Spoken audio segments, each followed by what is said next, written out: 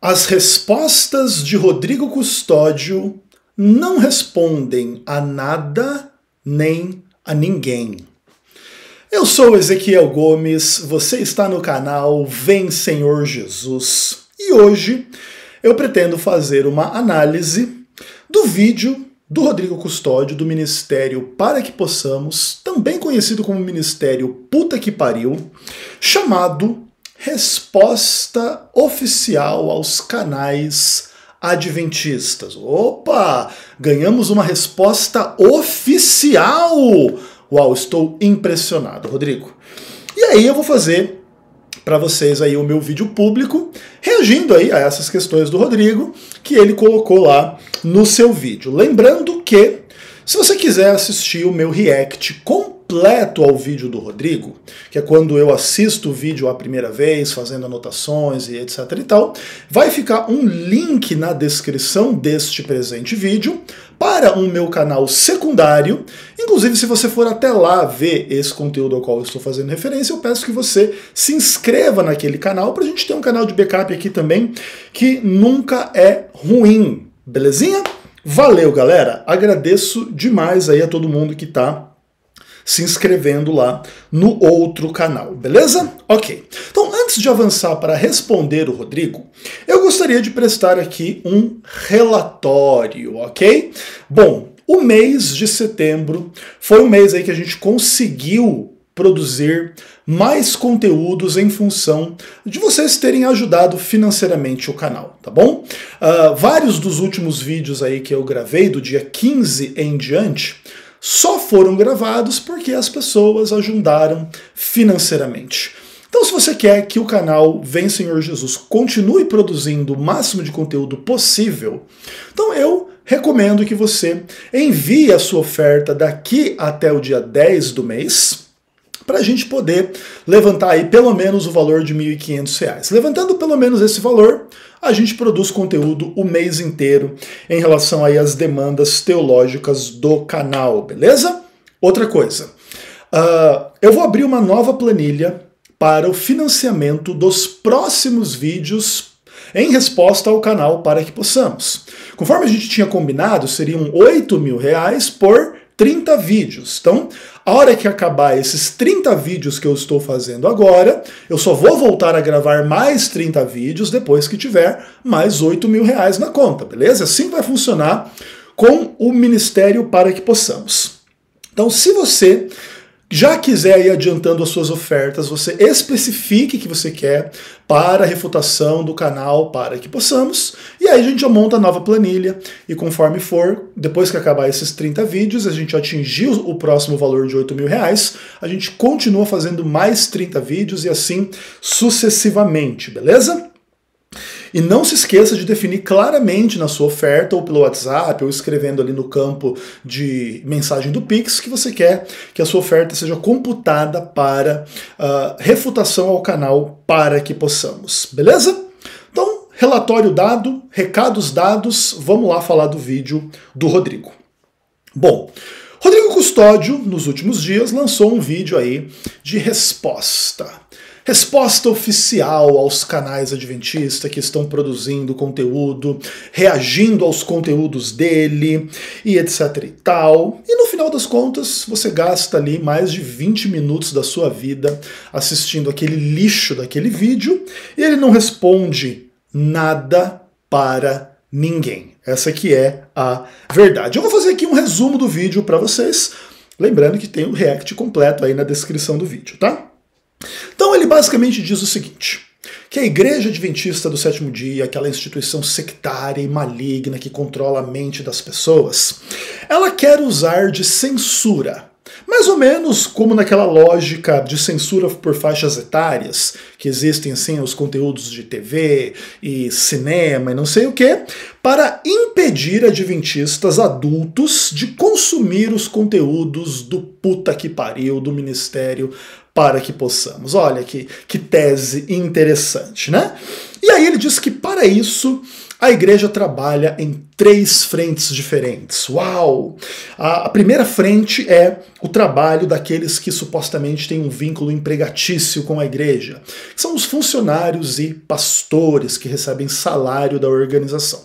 Primeiro de tudo, que o Rodrigo desconhece qual é a natureza do vínculo da relação entre a instituição religiosa e o pastor, o ministro do evangelho, que não tem nada a ver com vínculo empregatício. Ainda que o pastor receba entre aspas, um salário para trabalhar, ele não tem nenhum vínculo nem de trabalho, nem de emprego com a instituição, mas aí é a ignorância do Rodrigo mesmo, de não saber como que as coisas de fato funcionam, tudo bem? Mas ele diz que o primeiro grupo é esse. Então as pessoas que a igreja paga para ir lá dizer para as pessoas que elas não podem acessar o conteúdo do Rodrigo Custódio, que é um conteúdo muito revelador e muito importante e que destrói a fé adventista. A gente não sabe nem como que a igreja adventista ainda está de pé depois que surgiu o canal para que possamos, né? De fato, deve ser um milagre.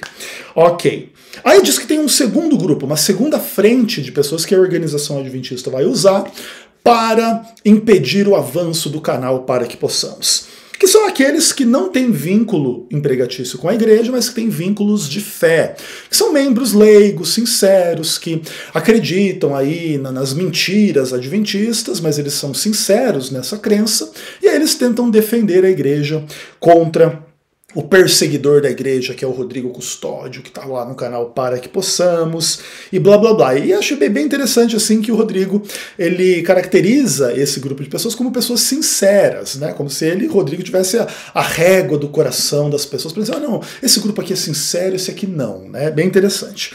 E aí é isso que surge o terceiro grupo, que até onde me consta, só contém um membro, que sou eu mesmo, tá? Que aí supostamente é uma pessoa que não tem vínculo empregatício com a organização, mas também não é leigo, e que tem interesses financeiros e dentários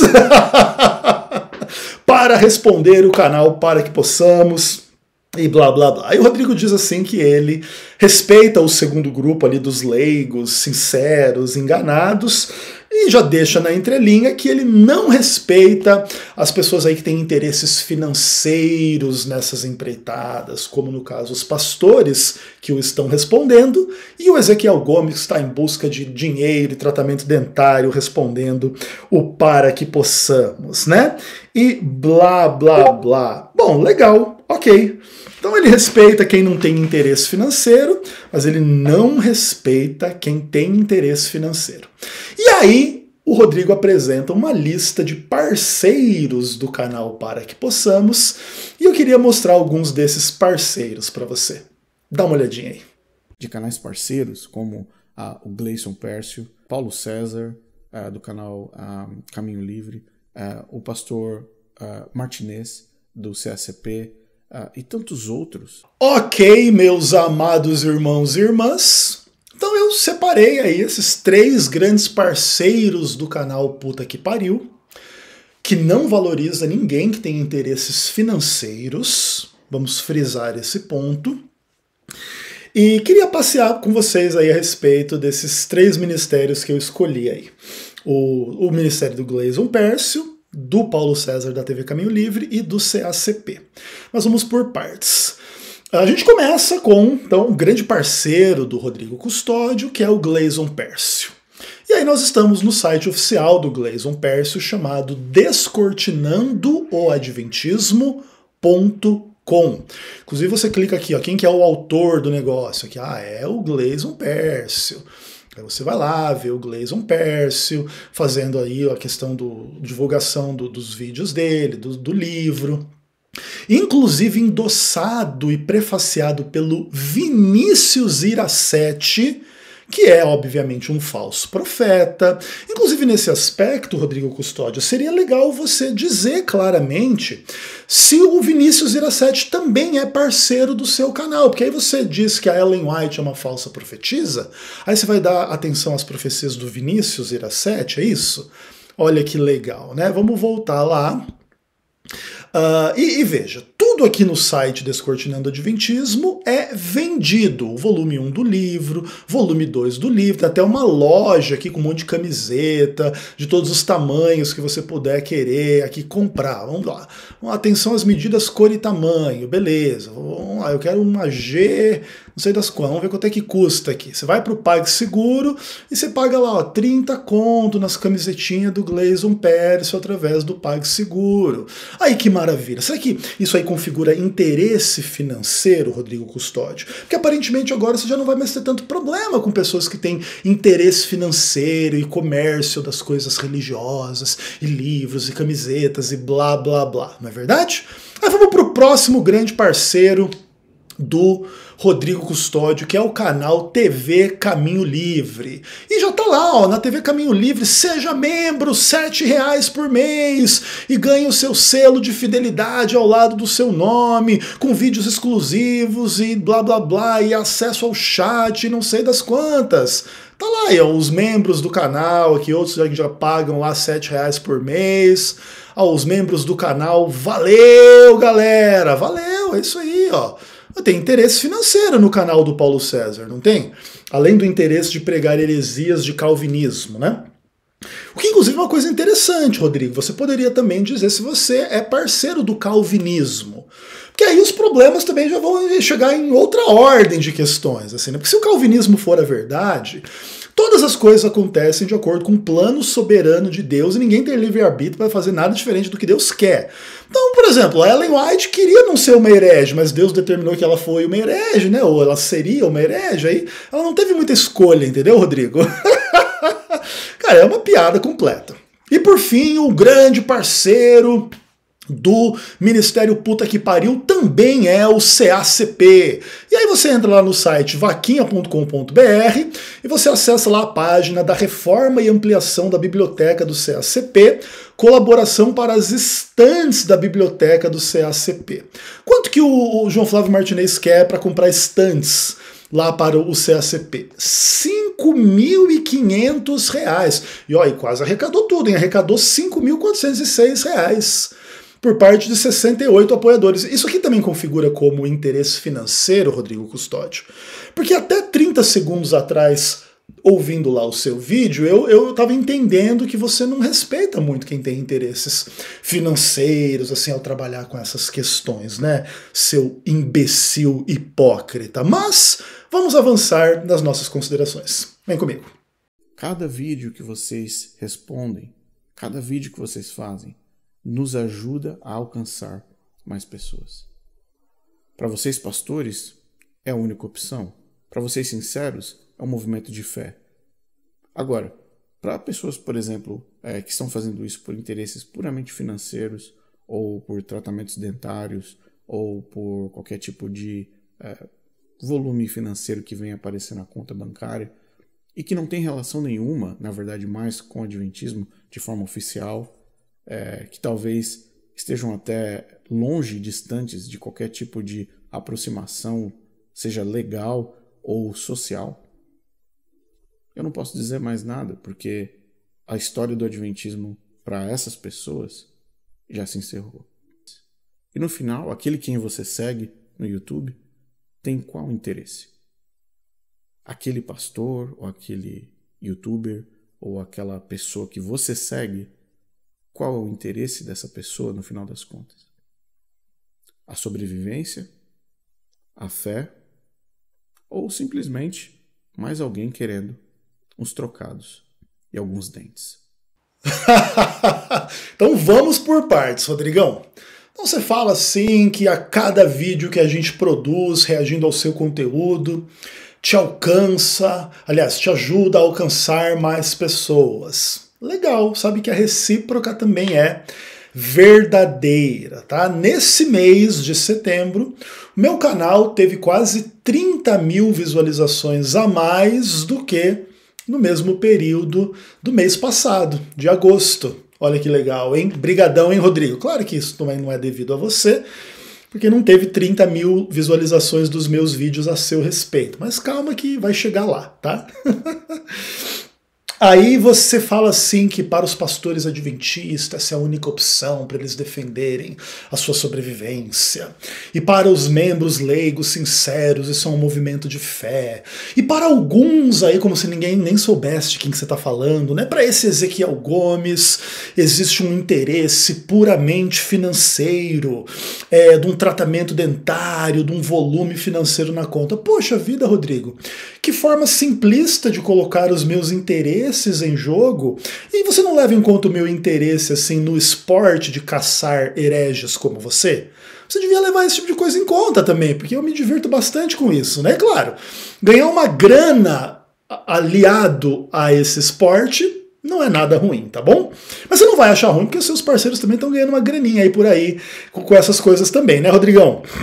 Ai, meu Deus do céu. Mas o, o, que eu gostaria de comentar é essa parte final do Rodrigo, assim, onde ele pretende fazer assim uma análise da minha situação e da minha condição no adventismo, né? Ele diz assim, então, que existe esse terceiro grupo de pessoas, que aparentemente consiste só em mim mesmo, que tem esses interesses dentários e financeiros e que não tem nenhuma relação com o adventismo de forma oficial. Legal, interessante.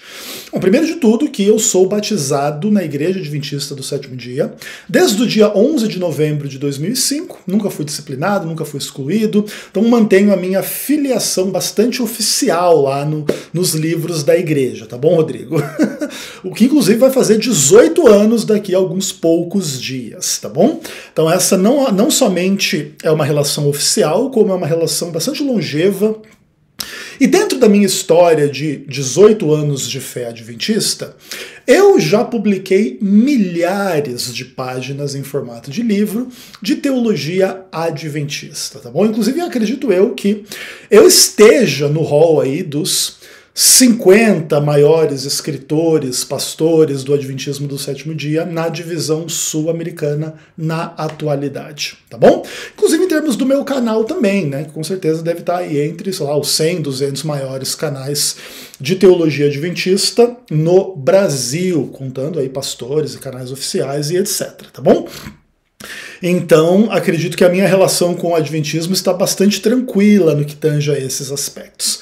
Aí você fala assim que eu estou longe de qualquer aproximação legal ou social com o Adventismo, que é uma forma muito estúpida de, de colocar assim, um questionamento do tipo assim: não, Ezequiel não tem nenhuma relação legal ou social com a igreja. E ambas as coisas são mentira que eu tenho uma relação legal com o Adventismo muito boa, né, onde, eu tô, onde eu fiz vários processos contra a igreja e que ainda estão é, tramitando na justiça, então eu e a igreja temos uma relação bem legal nesse aspecto, tá bom, irmão?